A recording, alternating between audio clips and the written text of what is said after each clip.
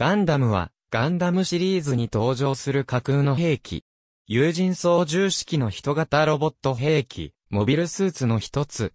初出は、1979年放送のテレビアニメ、機動戦士ガンダム。作中の軍事勢力の一つ、地球連邦軍が開発した試作機の一機で、主人公、アムロレイの登場機。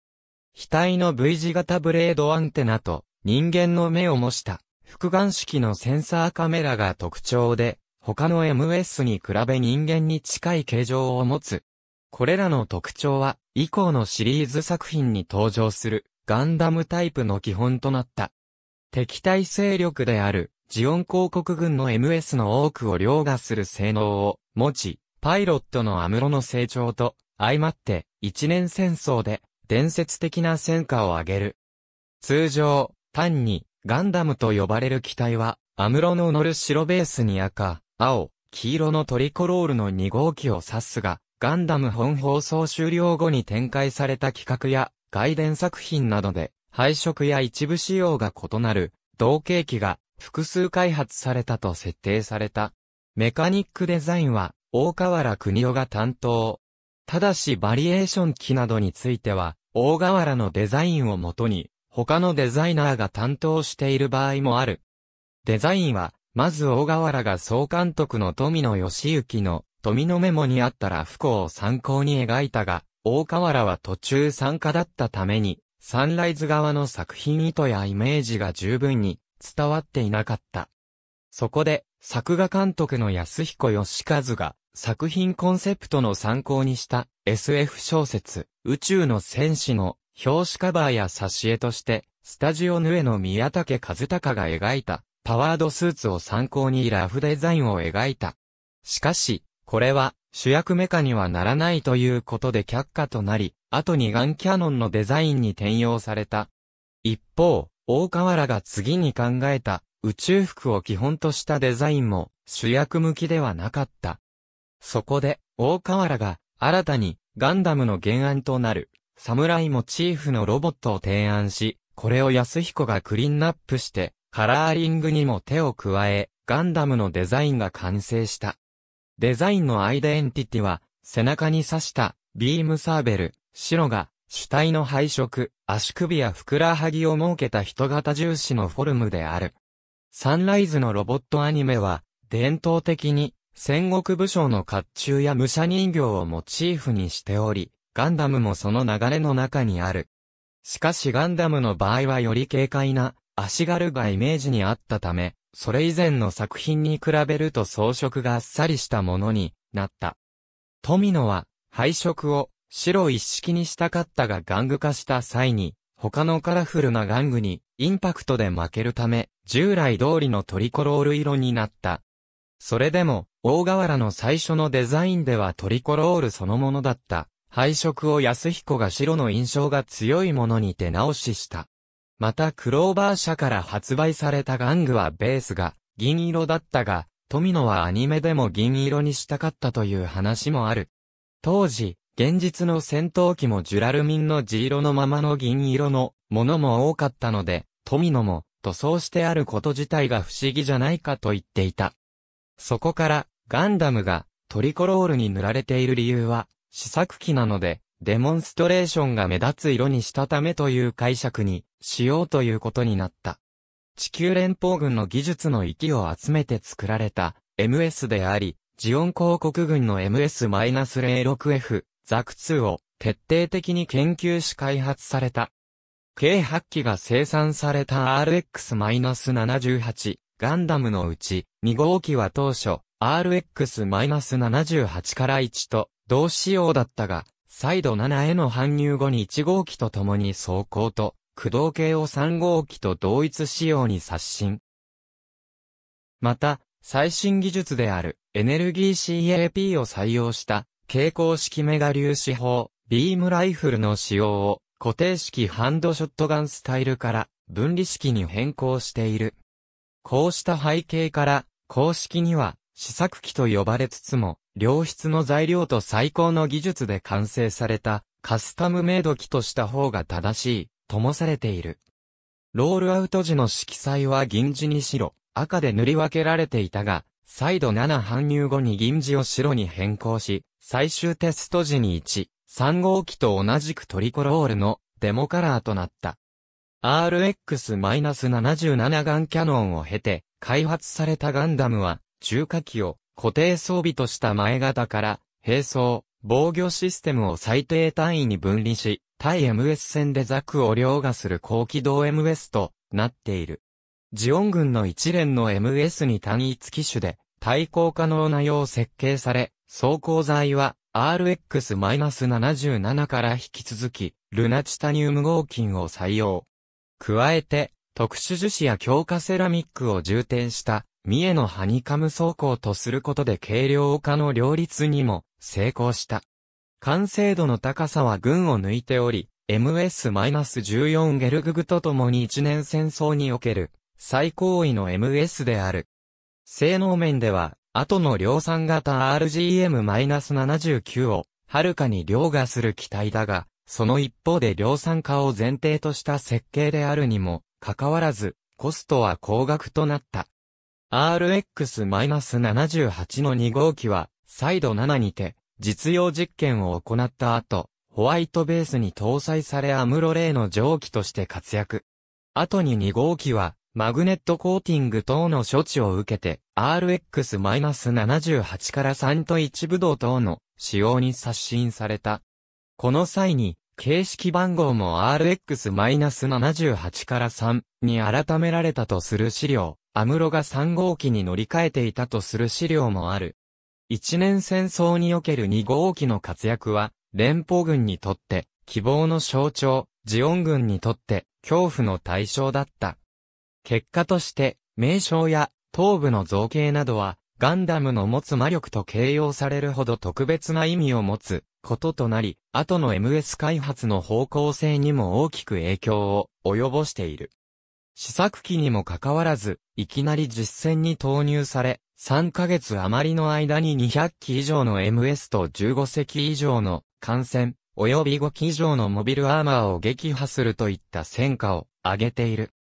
機体のテストと最終調整のため搬入された、サイド7において、ジオン広告軍の MS 隊の教習を受けた際に、偶然にも操縦マニュアルを拾い、成り行きで開いていたコクピットに乗り込んだ民間人の少年アムロレイの操縦によって、ザクツーと初の MS 同士の戦闘を行った末、勝利した。その後は、ニュータイプに覚醒するアムロの力もあり、ジオン広告軍兵士から、ジオンの赤い彗星との対比で、連邦の白いやつと呼ばれ、恐れられるほどの戦果を上げる。劇中でジオン側の人物が、連邦の新型 MS をガンダムと呼んだのは、第6話でのシャア・アズナブルのモノローグ、彼がガンダムと戦って死ぬもよしが最初であり、第7話でガルマ、第11話でシャアがガンダムという名に言及している。ジオンの一般兵が最初にガンダムと呼んだのは、第17話でコズンがホワイトベースから通信して友軍に情報を送った際である。一年戦争の最終決戦であるア・バオア・クーの戦いにおいては、固定武装の他両手にハイパーバズーカ2丁、腰部にビームライフル、背部にシールドという空前の重武装で出撃。シャアの搭乗するジオングと交戦の結果相打ちになり、大破、放棄される。この際、左腕と頭部を失いながらも、仁王立ちとなり、上方を飛ぶジオングの頭部をビームライフルで撃破したシーンは、ラストシューティングと呼ばれ、ポスターなどに多く描かれる有名なシーンとなる。この後、ジオングの放った最後の一発により右腕と右足を破壊され、行動不能になったが、コアファイターの分離システムは生きており、アムロがバワークーからの脱出に使用した。劇中では、アムロ以外では、セーラマスが唯一登場している。第16話では、無断で出撃するも、コズン・グラハムのザク IIに鹵獲されそうになり、アムロが搭乗する、ガンキャノンに救われる。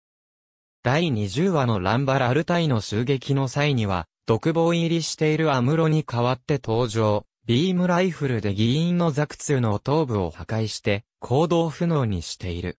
アニメ、リングオブガンダムでは、アムロの遺産の一部としてその後の同機が登場する。一年戦争後に回収、修理され、宇宙世紀の間に機能的な部分をアップデートしつつ、維持されていた。劇中では、リングコロニーに保管されていたものを、エイジーとユリアがダッシュし、ビューティメモリーと呼応させた。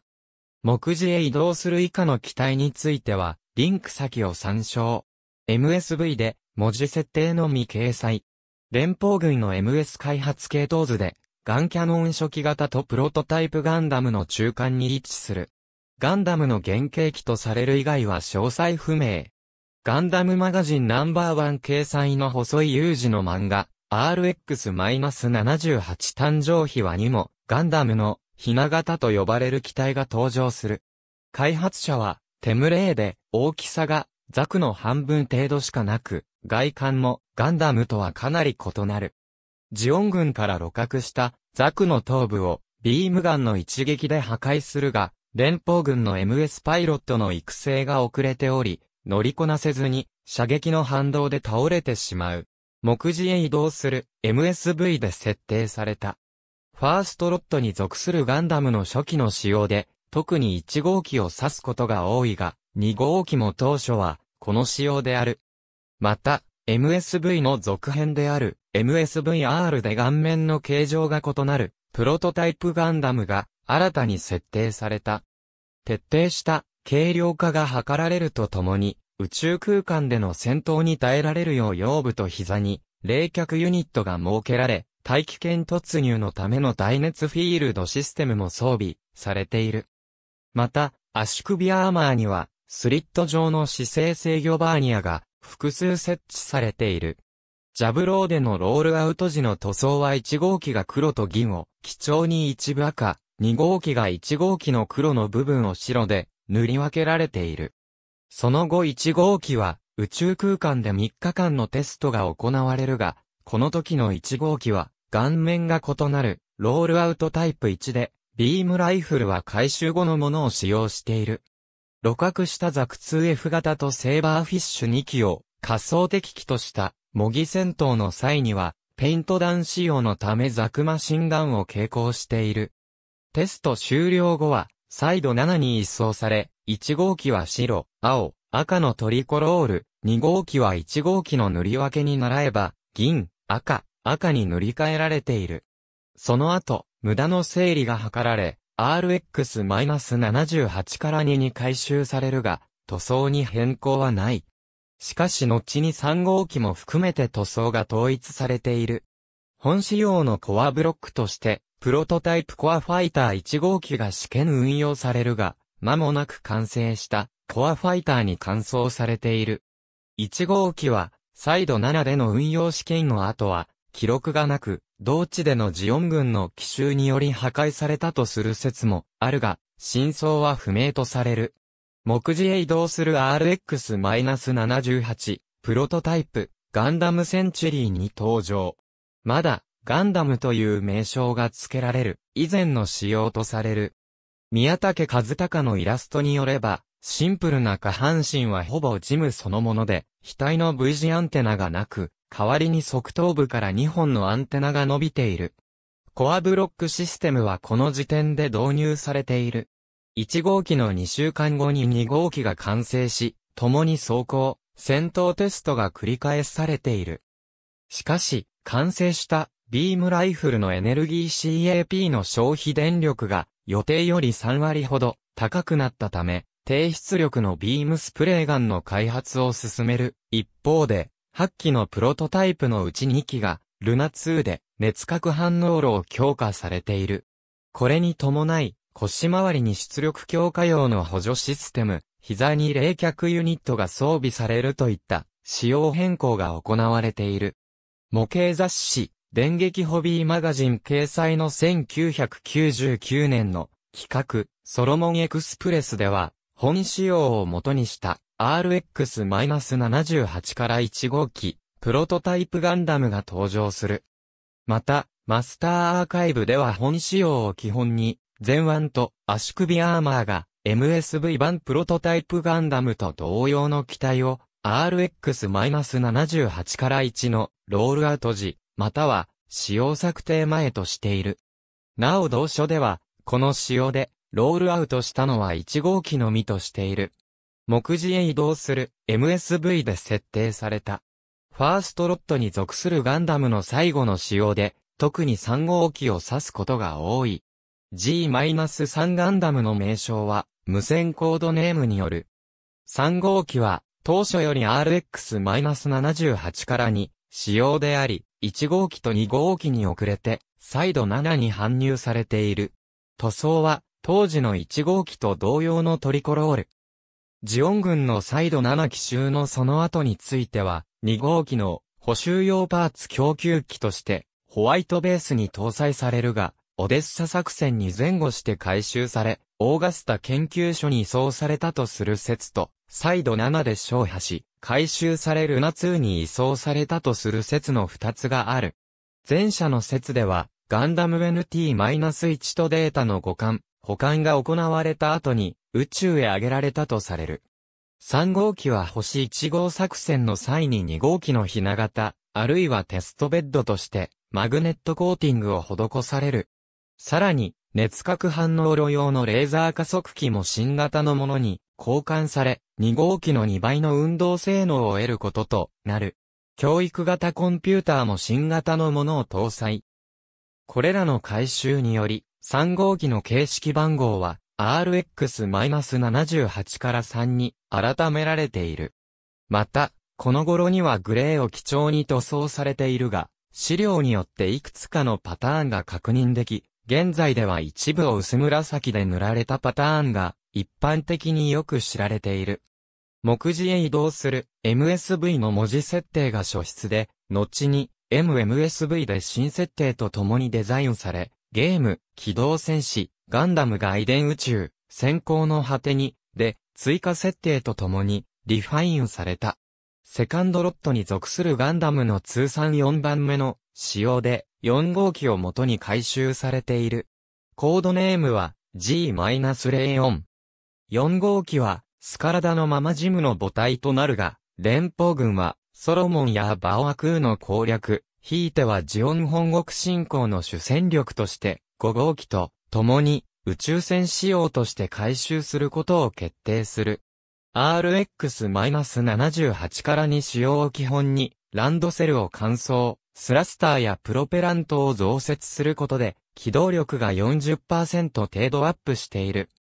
また、オプションとして両肩にプロペラントタンクと、スラスターが一体化した、コンポジットタンクユニットと、ランドセルにプロペラントタンクを追加することで、稼働時間も延長され、要塞攻略戦など、長時間にわたる戦闘において、多大な戦果が期待されている。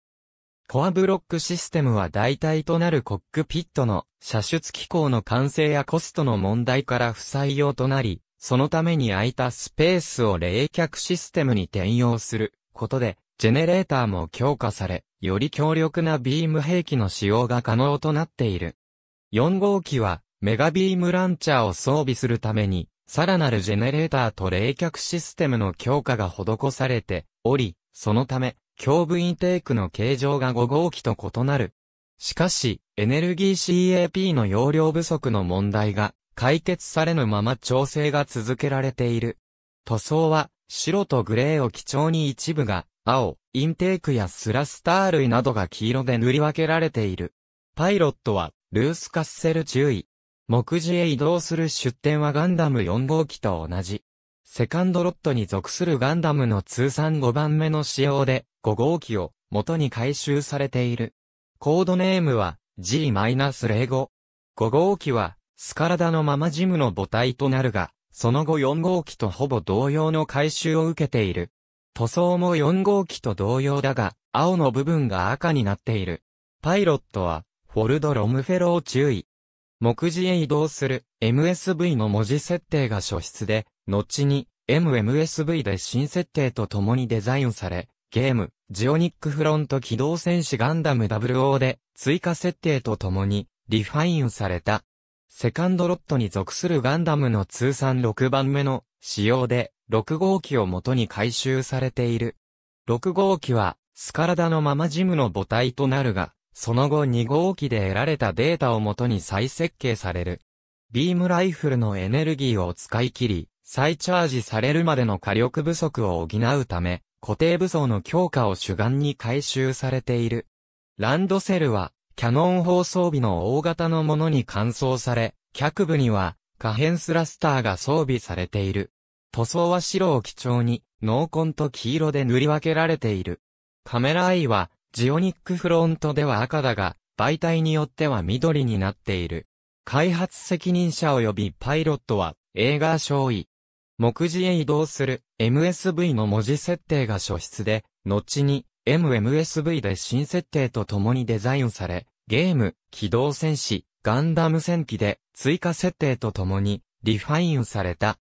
セカンドロットに属するガンダムの通算7番目の仕様で7号機を元に回収されている。7号機はスカラダのままジムの母体となるが、その後回収が施される。設計段階で一年戦争終結を迎え、基本フレームのみの段階であったが、宇宙世紀81年には完成している。当初から、フルアーマーなどのオプションシステムを想定して設計されているため、機体各所にマウントラッチや各種インターフェースのオプションポートが設けられている。増加装甲を装着して、フルアーマーガンダム7号機に、さらに、セカンドアーマーを装着することで、重装フルアーマーガンダムとなる。本体には、マグネットコーティングが施され、試作型の全天周囲モニターが装備されているなど、ガンダム NT-1 クラスの機体性能を持つ。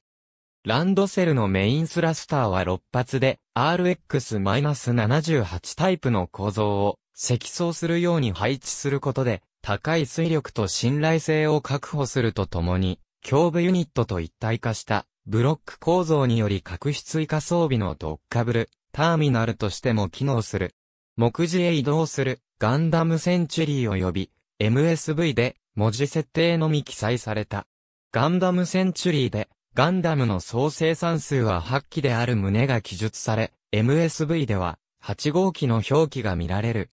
ガンダム8号機の表記が見られるのは、バンダイ発行のエンターテインメントバイブル42機動戦士、ガンダム MS 大図鑑、パート6デラーズ紛争編、上の MS 開発系統図のみである。4から7号機と同様、スカラダのままジムの母体となっており、実戦参加記録なども見つかっていない。目次へ移動するメカニックデザイン企画 MSVR で設定された。画工はガンダムエース市場で公募された MSVR 読者参加企画第2回のグランプリ作品であるガンダムスナイパータイプをもとに大河原がクリーンアップしたものである。一年戦争終結後に検討された機体で、ガンダムの機動性はそのままに中距離支援能力、向上型として開発されている。連邦軍の発注に応じて提案され、フルアーマーガンダムの延長線上にも位置する機体だが、脱着式ではなく、本体との一体型として計画されている。メインカメラ前面には、開閉式の遮断シールドを装備。これは、センサー作動時に発生する、電磁波などの対応策とも言われるが、詳細は不明。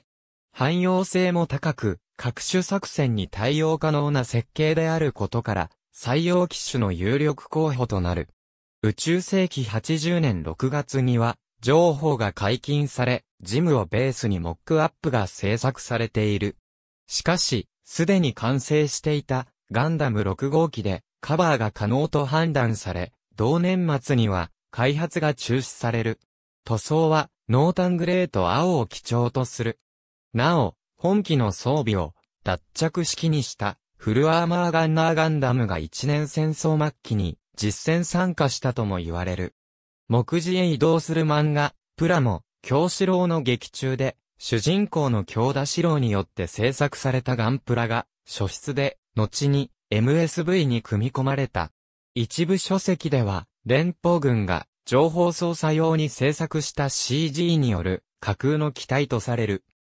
もともとはテレビシリーズに原画マンとして参加していた板野一郎が仕事の合間に描いた落書きでパーフェクトジオングとの近接線が描かれていたが、この時点で、両者ともデザインはほぼ完成していた。ガンダム本体と同様のトリコロールを基調とした増加装甲を胸部、肩部、腰部、下脚部に装着し、右腕部に直付け式の2連装ビームガン、背部には大型のパックパックとそれに直結した剣部、大型キャノン、左腕部に装着されたシールドには、ビームサーベルを3本と、機雷投下ユニット、脚部増加装甲にはスラスターを追加するなど、様々な武装を施している。ただし、京志郎では、水力は強化してあるものの重装備なだけに、鈍重な機体であり、同艦で対戦した、軽装なセミアーマードガンダムの運動性能に、翻弄され、惨敗している。また、その反省から、後継機として、パーフェクトガンダム2、パーフェクトガンダム3、HCM パーフェクトガンダムも製作されている。京志郎では全身に改造を施された、フルスクラッチとも呼べる機体で、増加走行は、機体と一体化しており、脱着不能であったが、MSV として、プラモデル化される際に、小田正宏によって一部デザインが見直され、1、100スケールキットでは、走行が脱着可能となった。マスターグレードで、プラモデル化されたのも、こちらのデザインである。さらに後に、過渡期始めによって再度リファインされたものが、ガンダムフィックスフィギュレーション、SD ガンダム BB 戦士各シリーズで商品化された。なお、BB 戦士では、オリジナルの要素として、頭部に装着する、ヘッドギアと支援メカである、G キャリアが設定されている。ガンプラを題材とした2013年のテレビアニメ、ガンダムビルドファイターズの最終話では、クライマックスの場面で、主人公の父親、伊織武氏のガンプラとして登場し、主人公を援護する場面が描かれた。わずか数秒ではあるものの初出から30年越しにテレビアニメへ登場したことから、ツイッターのトレンドワードとなったり、プラモ、京志郎の原作者である山と、虹一が、個人ブログでイラストを添えたコメントを寄せたりするなど、大きな反響があった。なお、この場面の原画は、同アニメに、原画マンやメカニック作画監督としても参加していた、大張正美によるものである。パーフェクトガンダム漫画、機動戦士、ガンダムサンダーボルトに登場。サイコザクマーク2の装甲やパーツをガンダムに乾燥した機体。目次へ移動する、ツクダホビーのシミュレーションボードゲーム拡張キット、トワイライト・オブ・ジオンに登場。ガンダムの簡易量産型で、腰部ヘリウムコアが除かれ、V 字アンテナを持たない。カメラアイの形式は、判別不能。ガンダムと同様に、ビームライフルとビームサーベル2本、ハイパーバズーカを携行する。生産性が悪く、十数機で生産は打ち切られている。目次へ移動する、サイバーコミックス01掲載小説、トップガンダムに登場。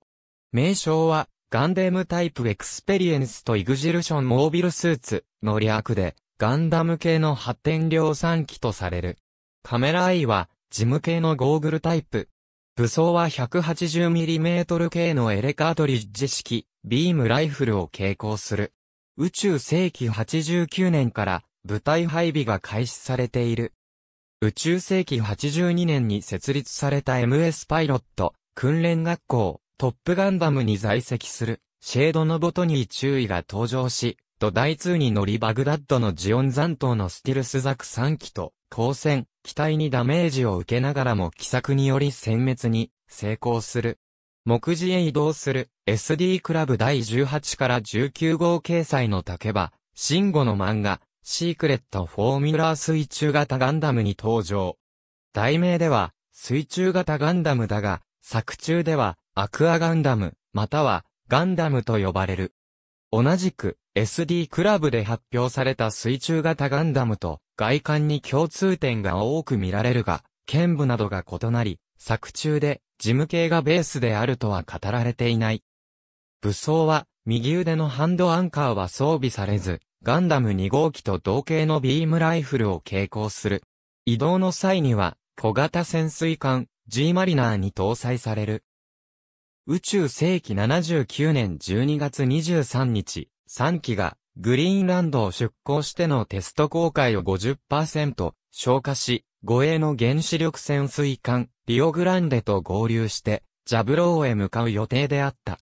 しかし、合流地点で、同艦はすでに沈没されており、待ち伏せていた、ジオン広告軍のユーコン級潜水艦、U-31 のズゴック2機と交戦、隊長の1号機は、G マリナーと共に撃沈される。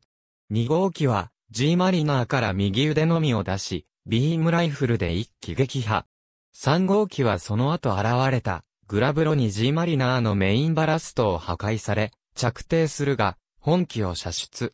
2号機と連携して、残りの敵を殲滅する。なお、2号機と3号機はモノクロながら塗装の違いが確認できる。目次へ移動する、電撃ホビーマガジンの雑誌企画、ソロモンエクスプレスに登場。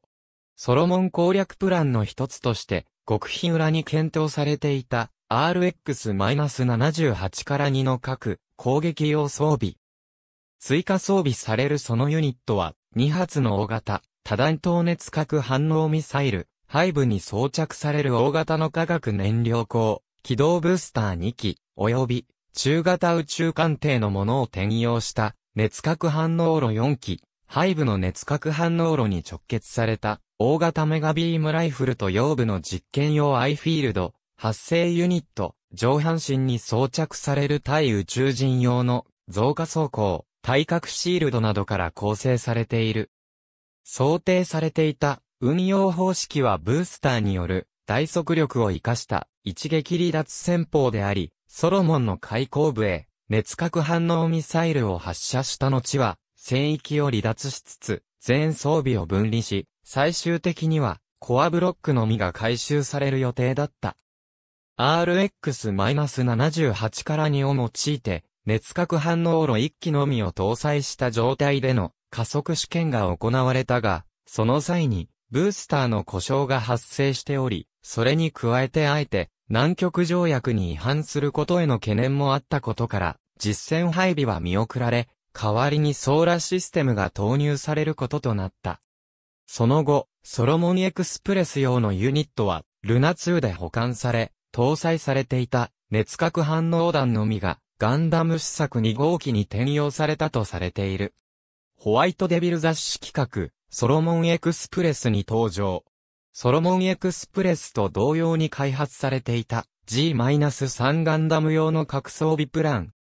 基本的な装備はソロモンエクスプレスに準じているが、武装はソロモンエクスプレスのものと同型の大型メガビームライフルのほか、2機の核バズーカと6発の熱核反応弾 60mm バルカン砲の砲口を流用した頭部後方のビームライフルとなっており、耐核シールドも2機に増強されている。ア・バオア・クー攻略用とされていたが、ソロモンエクスプレスと同様に実戦投入は見送られた。目次へ移動する漫画、機動戦士ゼータガンダム1、2に登場。ティターンズがガンダムマーク2を開発する際に RX-78 から2ガンダムを徹底的に解析するために各基地に現存する RX-78、K の補給用パーツをかき集めて製造した機体。オリジナルのパーツの含有率は52%で、残りは原用機のパーツで補填されており、名称の由来となっている。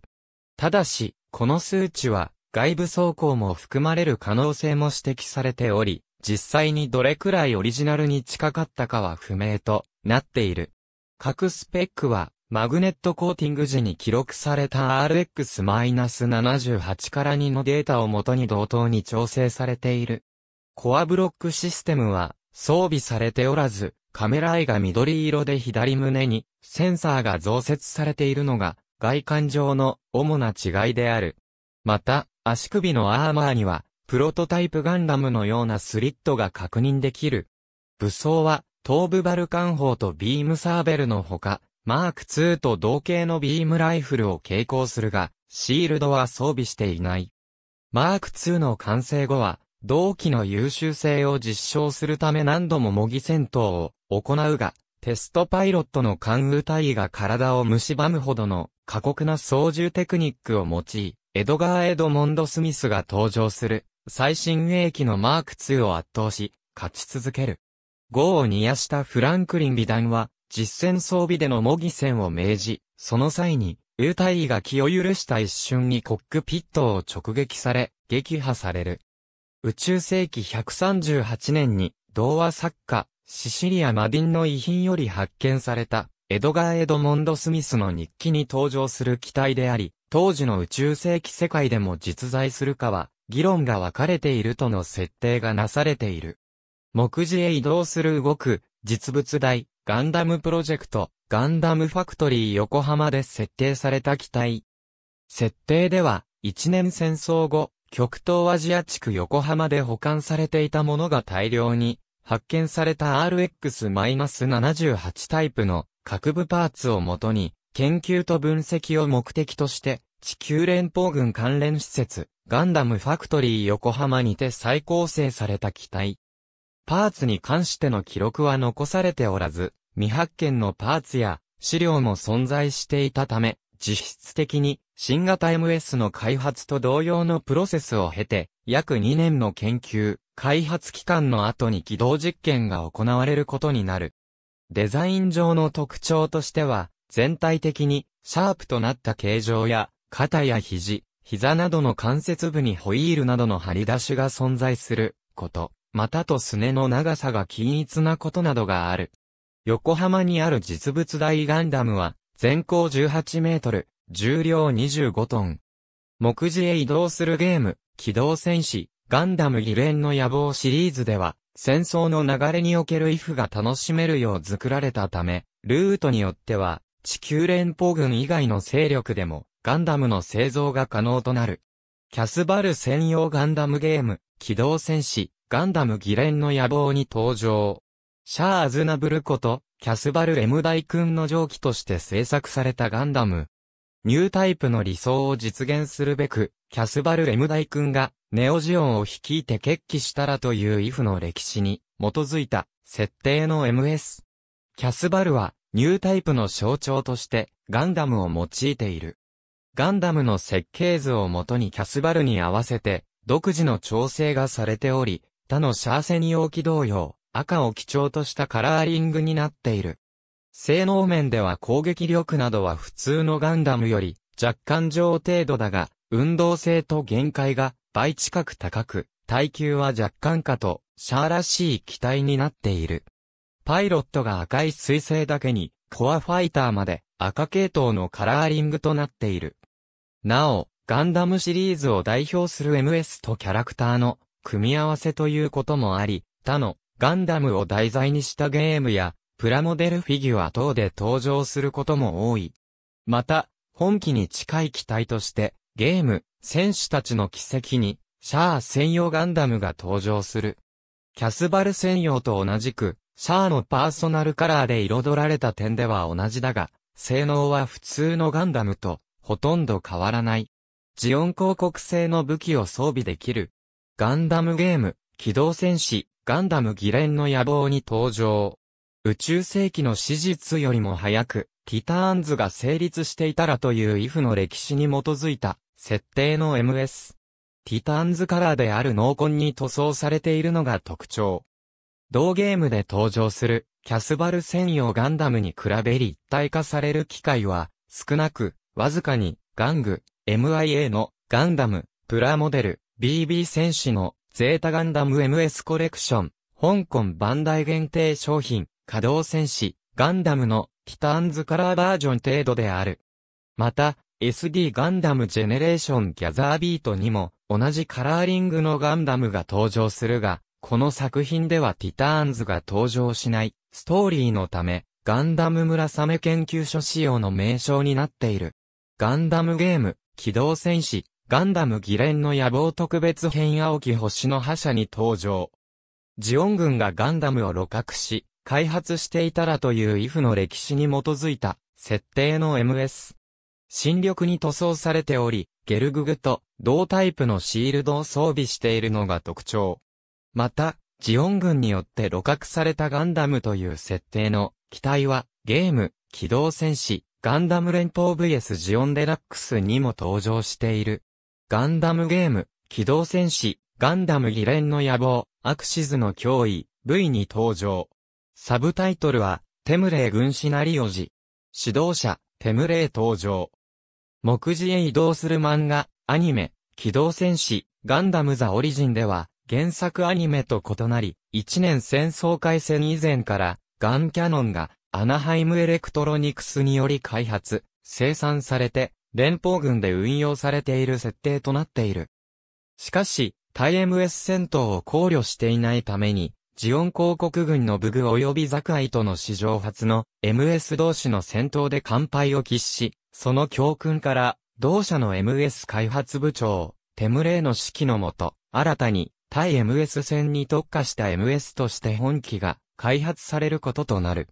漫画版の作中冒頭では、2機が再度7で機体のテスト並びにパイロットの訓練を行っている。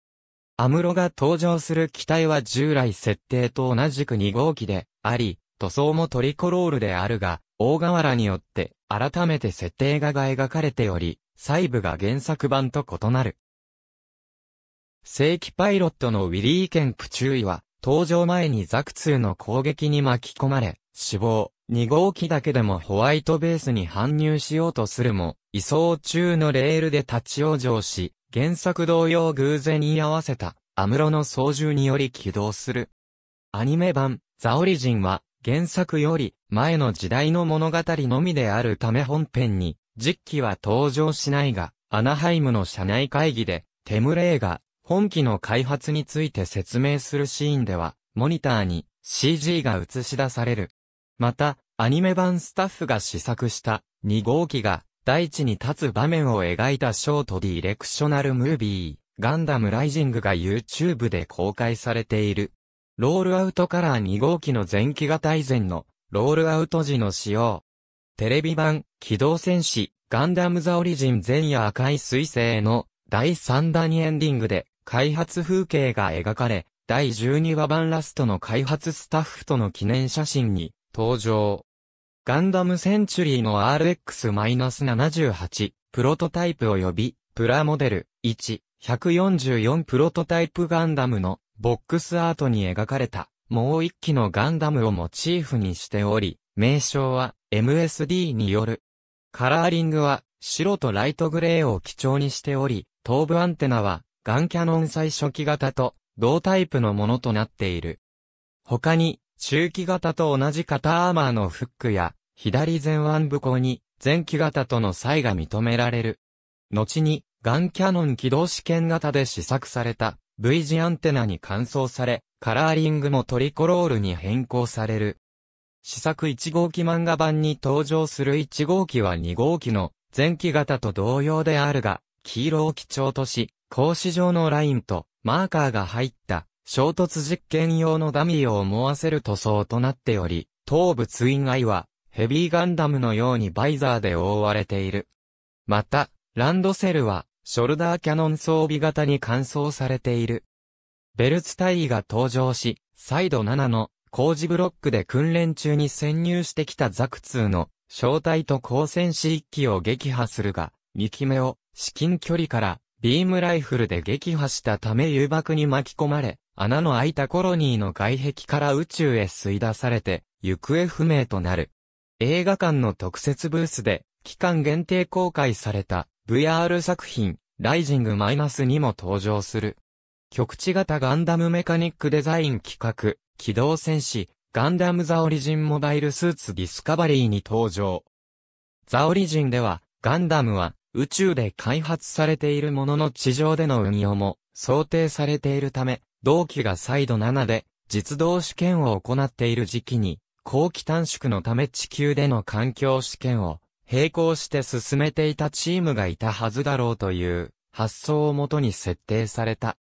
地球での対環境試験のために開発された試作機でガンダム試作1号機とは別のチームが担当し、試作1号機の余剰パーツと地上で調達されたパーツによって製造される。完成当初は、試作1号機と同様のイエローで塗装され、地上試験が行われている。当時、チーム内では、この仕様を RX-78N と呼称している。その後、白と紺のツートンカラーに変更され、地上試験で不要とされた宇宙用装備が地上用、水中用のものに換装されており、後世には、この仕様を分類上、RX-78 から 01N と呼んでいる。関節部に暫定的に防水用シーリングが施され、ランドセルをハイドロジェット推進機搭載型に換装して、洋上試験が行われている。これら対環境試験は、宇宙世紀78年に終了し、結果は、再度7に送られ、ガンダム2号機に反映されたと言われる。さらに、ジオン軍の水陸両用モビルスーツに悩まされる、連邦海軍の提言により、本機の洋上試験のデータから、アクアジムや水中型ガンダムが開発されている。テレビ版、機動戦士、ガンダムザオリジン前夜赤い彗星の第12話版エンディングでは、腕部が取り付けられていない本機が海上で起動テストを行う様子が描かれた。ザオリジンのスピンオフ漫画、機動戦士、ガンダムザオリジン MSD ククルスドアンの島では、黒を基調に一部がオレンジに塗装された北米戦仕様が登場。地上試験時と同型のショルダーキャノン付きランドセルを装備している。宇宙世紀79年10月頃に、北米の砂漠地帯で、ジオン軍のいくつかの部隊を全滅させている。ガンダム FSD、MSD に登場。局地型、ガンダムのテスト終了後、改めて、ガンダムタイプの部隊運用を視野に入れ、各種装備や、機器の強化、改修を目的に開発された機体。FSD は、 Full Scale Development の略。局地型ガンダムとパーツを共用しつつ、量産化を前提に再設計され、基本性能と生産性の向上を達成している。外観は、胴体部が、局地型ガンダムと異なる。ランドセルは局地型、ガンダムのロールアウト時及び北米仕様と同型だが、ランドセル左側のショルダーキャノンは携行武装のマウントラッチに変更されている。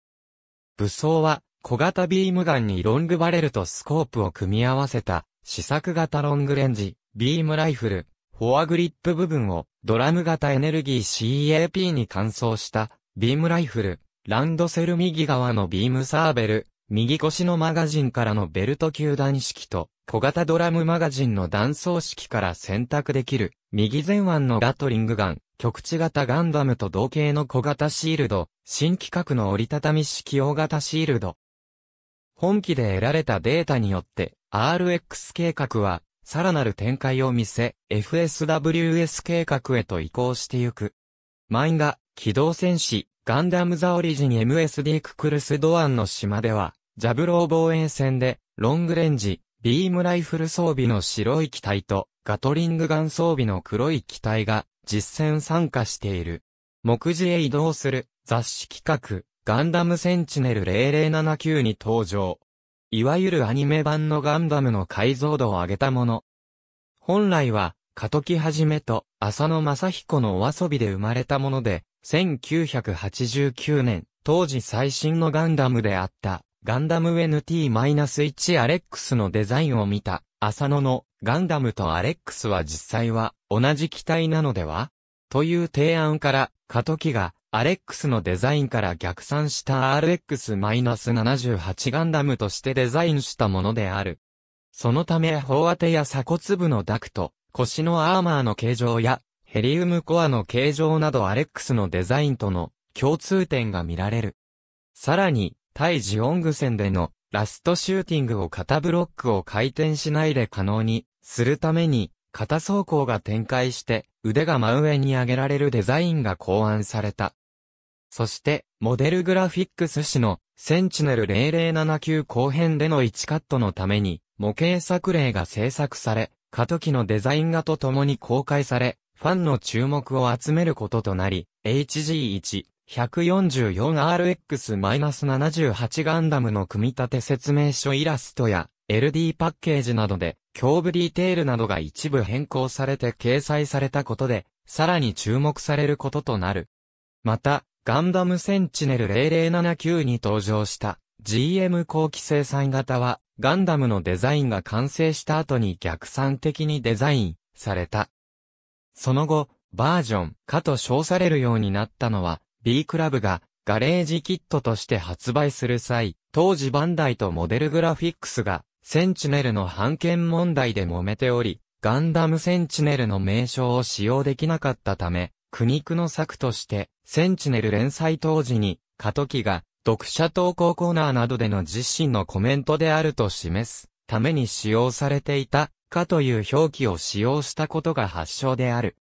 その後数多くのガレージキットメーカー、及び個人ディーラーなどの手によって幾度となく、立体化されるのみならず、バンダイのプラモデル、マスターグレードと完成品トイ、ガンダムフィックスフィギュレーションでも立体化されている。目次へ移動する2020年、機動戦士ガンダム40周年記念ガンダム、県奥山デザイン LDH ジャパン G40 プロジェクトとして制作、公開されたスペシャルウェブムービーに登場。2019年12月には、このプロジェクト用にリデザインされたガンダムの設定を元にしたガンプラも販売された。以下の記述のソースは、浮き出展のリンク先を参照。プロジェクトの起点は上述のガンダム40周年、関連プロジェクトの一つとして、マイルストーン的なガンダムのプラモデルを生み出そうということで、バンダイ側がガンダムを実在の工業製品としてデザインをするというアイデアを出したことに橋を発する。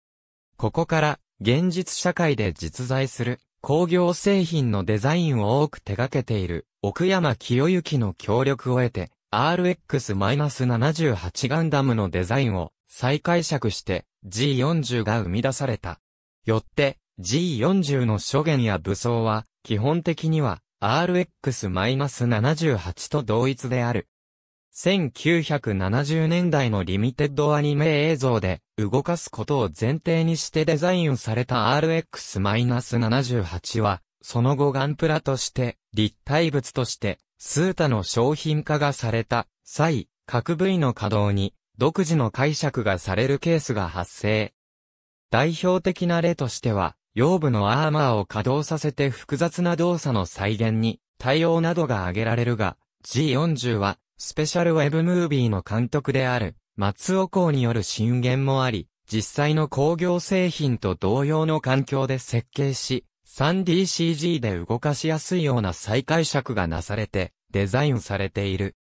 前述した腰部アーマーの非稼働となった代わりに、人体関節に近づけた球体関節を各部位に取り入れ、人体の動きの基本である、ひねりの入った動作が人体により近い形で再現できるという触れ込みになっている。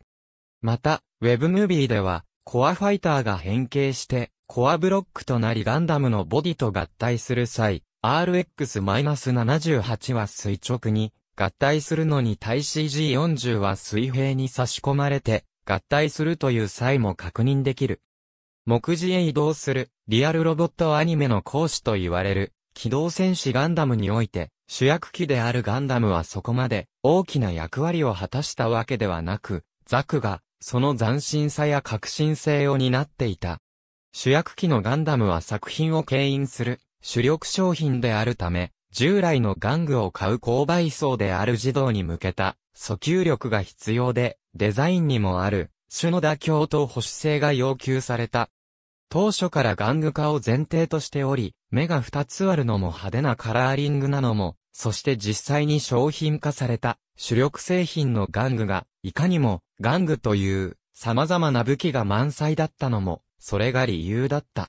それでも、従来は売れない色と言われて、アクセントとしてのみ使われていた白色の多様、必殺技や技の連呼の廃止、設定による様々な理由付けなど、作品のコンセプトに合わせた対応も施されていた。その結果、リアルな世界観の中で、中途半端な存在になったが、これが後に、何でも許容できるという作品のキャパシティにつながったとも言える。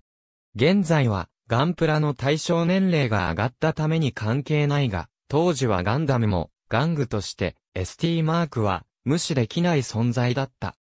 デザインの段階から尖っている部分はすべて省き、強度も子供が落とした時のことまで考えなければならないなど、通過するための条件がかなり厳しく、自由にはデザインできなかった。作品がヒットしてブームになるにつれ、熱心なファンたちからその中途半端なデザインがリアルではない、子供騙しなどと問題視されるようになり、その結果、ザクをはじめとするリアルなジオン広告軍側 MS の求心力が高まった。その一方で、ブームの後追いとなる未就学児童や小学生などの低年齢層のファンは、ザクの革新性などにはあまり関心がなく、放送後に発売されたガンダムのプラモデルは順調に売れた。コアなファンには中途半端に見えたデザインも従来型ユーザーである低年齢層には十分新しい姿に移った結果と言える。ガンダムは、近未来の人型兵器としての認知が高いため、技術指標としてたびたび引き合いに出される。イベントの目玉となる、機動戦士ガンダム開発ストーリーは、ガンダムを作るという想定で、当社の業務フローをシミュレートする。その時、当社の研究、開発、設計担当は、また、製造、品質管理、さらに営業、財務、資材など担当は、それぞれどのような役割を担うのか。迫力のある映像と音響を楽しみながら、多くの社員がアイデアを出し合い、検証し協力し合いながら初めて大きなプロジェクトを完成させていく、醍醐味を一人一人に知ってもらうイベントとなる。防衛省技術研究本部は11月7日、平成19年度研究発表会、防衛技術シンポジウムを開催した。会場では、ネット上のコミュニティなどでも話題になったガンダムの実現に向けてをはじめとした研究開発成果が展示された。ガンダムの実現に向けてというタイトルで展示を行った理由については、不走者が発行する防衛省の公式雑誌マモアで技術研究本部を特集した際、ガンダムを引き合いに出したことから、今回の発表でもそのまま使ったのだと思う、という。ガンダムというロボットのイメージとは異なるものの、先端の IT を駆使したこの装備。写真で詳細を紹介したい。前田建設ファンタジー営業部建設業の面白さや楽しさを知ってほしい。という思いから始まったファンタジー営業部も早いものでほぼ10年が経過しました。書籍化は今回で3作目となります。今回のテーマは、機動戦士、ガンダム地球連邦軍基地、ジャブローです。もしも、ガンダムを作るとしたらいくらくらいかかるか、真面目に計算したことがあります。そうすると、材料費だけで800億円弱かかることが分かりました。これは、作るための人件費、インフラのお金は含めません。材料費と加工費だけです。自民党議員の間でガンダムに象徴される二足歩行ロボットの実現を党のマニフェストに入れようという動きがある。産業振興の一環として、国家プロジェクトとして取り組もうという狙いのようだ。すでに石破茂政調会長にも提案しているといい、ネットでも話題になっている。商業施設に作られたガンダムモデル以外にも、宣伝、事業の域を超えて、ガンダム像が作られることがある。代表例としては、東京、上井草駅前に立つガンダムの銅像、大地からなど、実物大ガンダムは、RX-78 から2ガンダム像を、設定通りに、頭頂高18メートルサイズで作った立像モデル。等身大、ガンダム、1、1ガンダムとも呼ばれているが、本説では突起なき場合は便宜上、実物大、ガンダムの名称で統一する。講義では前述した偶像としてのガンダムにカテゴライズされるものだが、記述が多岐にわたって必要なため、節を分けて小説する。また参考として2010年に中国で無許可建造されたガンダムに似た謎のロボット巨像についても簡単に記載した。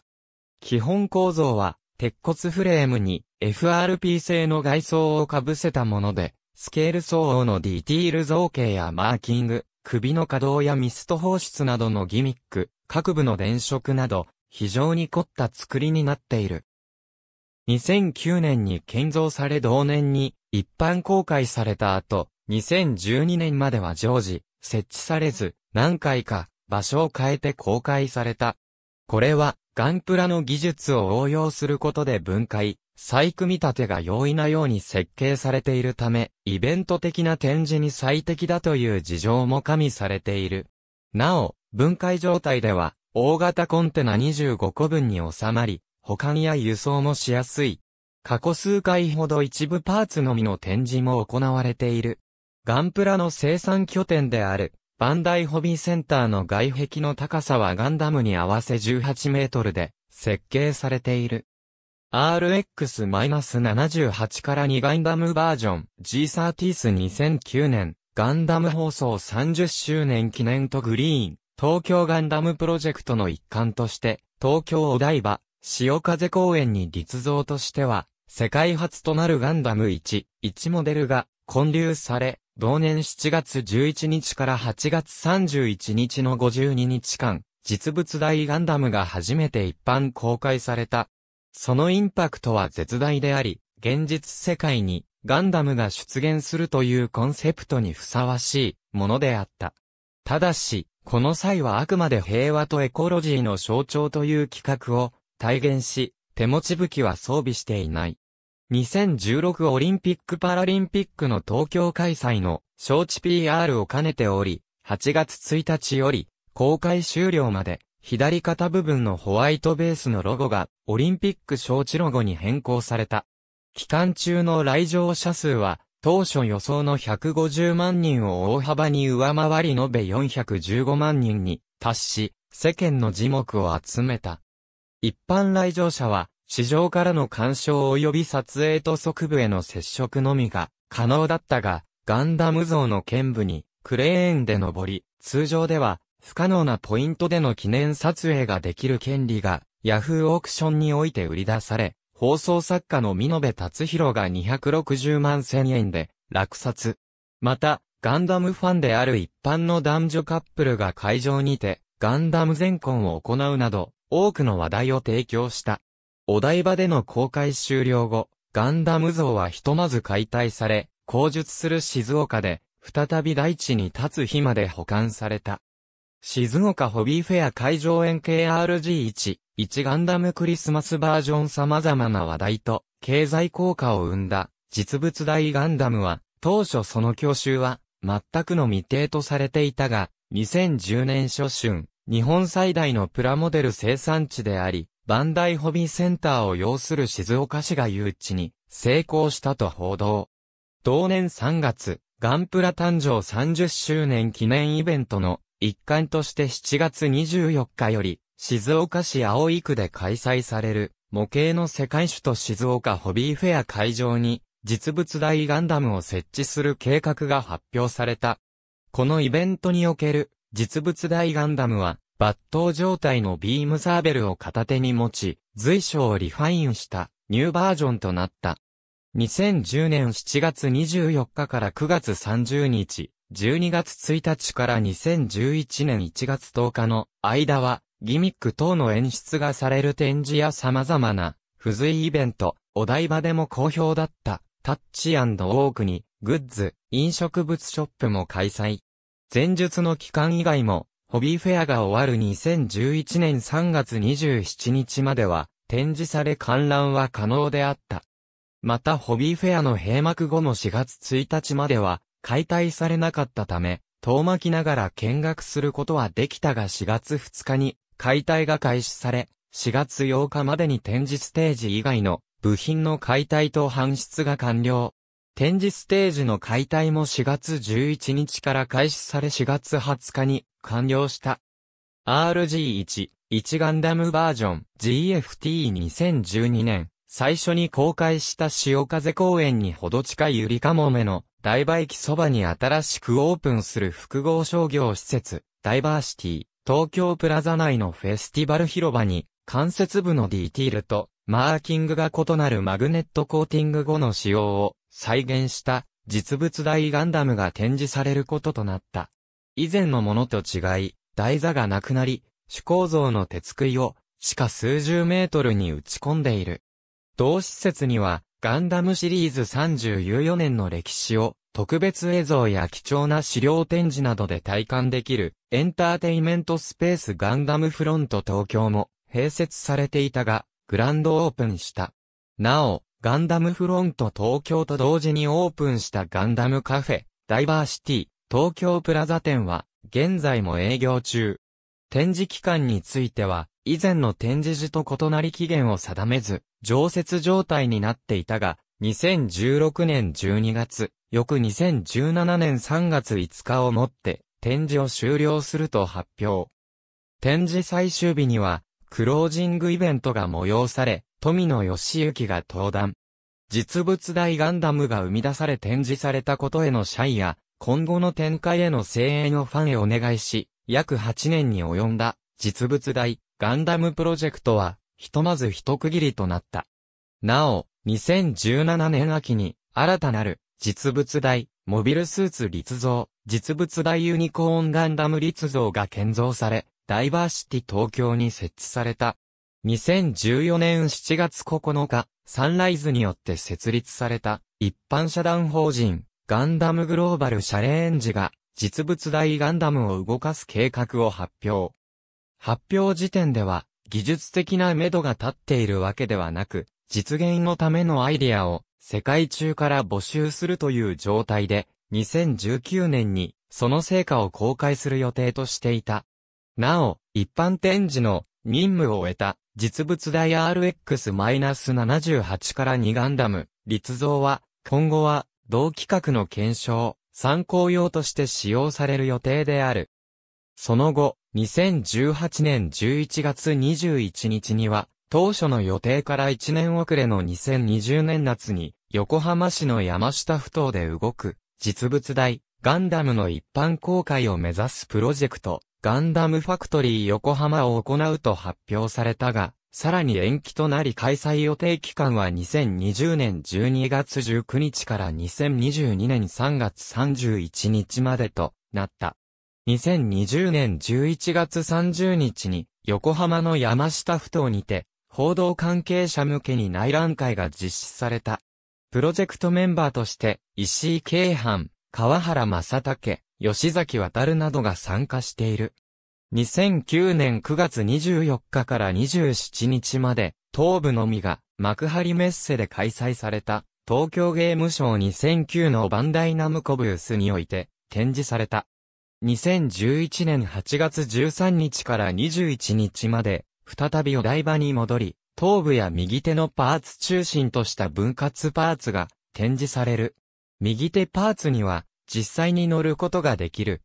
今回の展示は、同年に実物大ガンダムを CG 処理して動かす CM を放送したカップヌードルの協賛により実現した。2010年12月、中国四川省成都市温港区にある国家4 A 級、旅遊景区の遊園地国色天号楽園にて、ガンダムにそっくりな金色のロボットが登場した。